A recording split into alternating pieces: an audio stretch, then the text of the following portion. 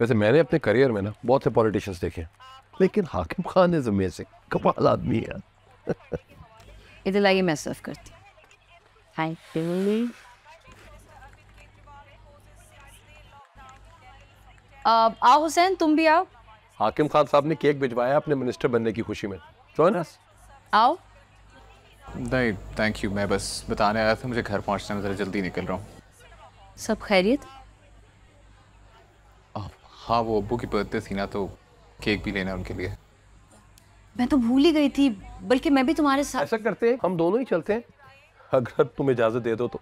एक छोटी सी मीटिंग है वो मीटिंग अटेंड करके हम आपके घर आ जाते हैं। आपके अब्बा से मिलने का भी बहुत इश्तियाक है मुझे। आप अंकल से ज़रूर मिलिए बहुत खुश होंगे आप उनसे मिलके। आप कह रही हैं तो ऐसा ही होगा। ज़रूर सर एनी टाइम होती है फिर मुलाकात। बिल्कुल। आने से पहले मुझे कॉल कर देना। ओके आप तो कह रहे थे हुसैन से कि हम बर्थडे पे पहुँचेंगे। अब आप यहाँ ले आए क्यों? चले जाते हैं। उस दिन का डिनर ख़राब हो गया था ना। तो आज सेलिब्रेशंस का मौका भी है और मैंने सोचा थोड़ा सा टाइम है सेलिब्रेट करें।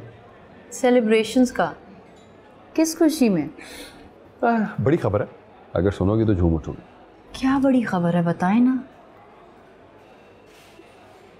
नवीद खान को जेएनएन से भी फारिग करवा दिया नहीं। जेएनएन से? यस लेकिन लेकिन जमशेद तो उसका बड़ा दोस्त है।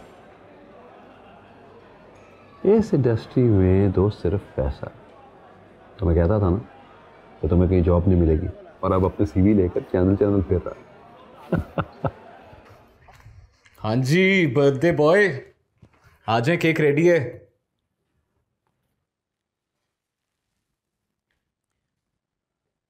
भाई वो तुम्हारे मेहमान तो अभी तक आए ही नहीं तो उनका इंतज़ार नहीं करोगे? मेहमानों का अब एक घंटा और इंतज़ार किया तो अब पचपन साल एक दिन के हो जाएँगे। केक काटें आप। ऐसा करो फ़ोन कर लो पता चल जाएगा कहाँ तक पहुँचे।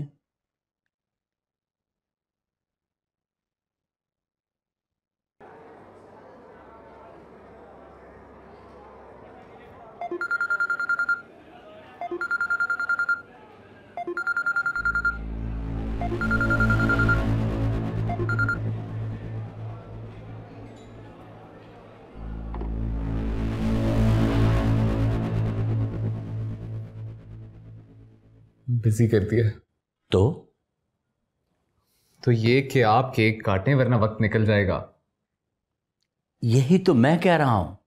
मुहूर्त निकले जा रहा है। कुछ तुम भी कर लो। अच्छा आप केक काटें। एक सेकेंड। आहा बिस्मिल्लाह रहमान रहीम ए happy birthday to you happy birthday to happy birthday dear अब्बू हैप्पी बर्थडे टू यू गर्म तो नहीं? थोड़ा गर्म। चले कोई बात नहीं। अभी ठीक हो जाएगा। तानिया कहाँ है? नज़र नहीं आ रही। अम्मी वो आज ही लंदन गई है। लंदन? लंदन क्यों चली गई? उससे मिलके भी नहीं गई। उसे अचानक जाना पड़ा अम्मी। उसके भाई की तबीयत खराब हो गई तो वो इमरजेंसी में चली गई है। आजकल ना तेरे अब्बा रोज ही ख्वाब में आ रहे हैं। बस एक ही बात कहते हैं कि नवीद परेशान है। उसका ख्याल रख। कोई परेशानी है बेटा? आपके होते हुए मुझे कोई परेशानी हो सकती है? अंकल और हुसैन पता नहीं अभी तक जाग भी रहे होंगे या नहीं। हमने उनकी बर्थडे मिस कर दी। ओके यार लेट हो गए। चलो मैं कल उसको ऑफ़िस में सॉरी कह दूँगा। हाँ वरना पता नहीं वो क्या सोचेगा।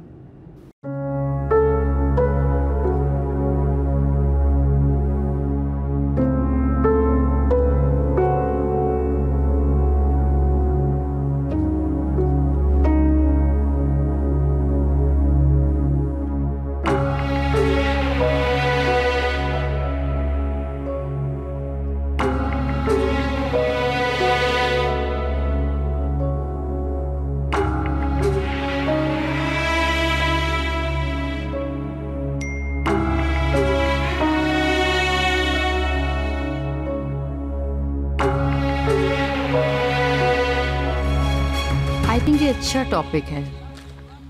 इस पे हमें शो करना चाहिए। ठीक है मैं इसके पॉइंटर्स बना लेता हूँ। हुसैन आई एम सॉरी यार। रात को बहुत देर हो गई थी लेट हो गए थे। हाँ भाई अब तो मसरूफ़ ही बहुत हो गई हो। मेरे लिए तुम्हारे पास टाइम ही कहाँ है? क्या मतलब टाइम ही कहाँ है? विशाल हम लोग कब आखिरी बार सिर्फ़ हुसैन और मिशाल के तौर पे बैठे हैं? अब हम लोग सिर्फ़ एक न्यूज़ प्रोड्यूसर और न्यूज़ एंकर के तौर पे इंटरेक्ट करते हैं और कुछ भी नहीं। ऐसी कोई बात नहीं है पता नहीं तुम्हें ऐसा क्यों लग रहा है। मैं तो खुद कभी कभार तुम्हारे रवैये से बहुत परेशान हो जाती हूँ। पता नहीं क्यों हुसैन दिन ब दिन हम दूर होते जा रहे हैं। दूर होते जा रहे हैं या किए जा रहे हैं? अब इस बात का क्या मतलब है? अगर तुम खुल के कहोगे तो शायद हम दोनों के लिए सहूलत रहे। विशाल मुझे लगता है तुम अपना करियर बनाने की दौड़ में काफ़ी चीज़ें फरामोश कर रही हो।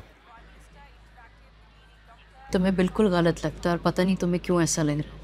मुझे ऐसा लगता नहीं ऐसा है। कल रात अगर तुम मेरी कॉल काटने की बजाय मुझे एक मैसेज छोड़ देती तो शायद हम लोग तुम्हारा इंतज़ार कर लेते। लेकिन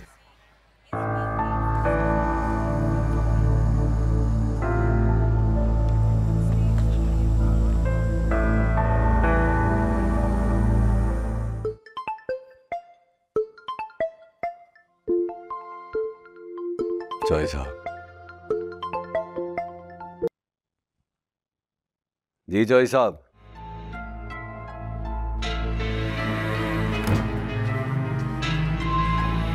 तानी। अजमत आपने मुझे बताया नहीं कि कल हुसैन की कॉल्स आ रही थी? जानबूझ के नहीं बताया। अरे क्या मतलब जानबूझकर नहीं बताया? क्योंकि तुम वहाँ मुझे मुकम्मल चाहिए थे। बटी हुई नहीं। मुझे नहीं पता कि तुम्हारे और हुसैन में क्या चल रहा है। लेकिन I am very clear about my feelings बहुत दफ़ा सोचा, तुमसे बात कर लूँ। जुमले भी तराशी। आज कह दिया। एक्सक्यूज मी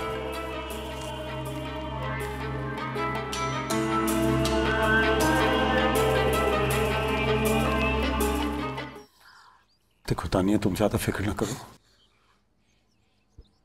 मैं कोशिश कर रहा हूँ। कब निकालोगे मुझे? जब मैं मर जाऊँगी। मैंने कहा ना मैं कोशिश कर रहा हूँ। कोई ना कोई हल ज़रूर निकल आएगा। मैडम चलिए मुलाकात का वक्त खत्म हो गया।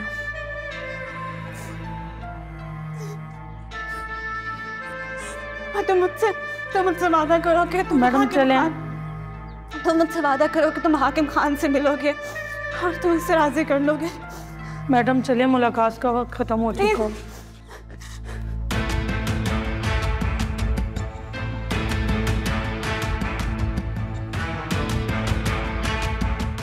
ब्रेकिंग न्यूज़ जुम्मे से इतवार रात 9 बजे। आ गया वो मकाम लगता है।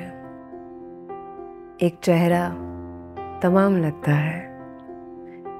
नियतों का फतूर गायब है। तो मुकद्दस मकाम लगता है।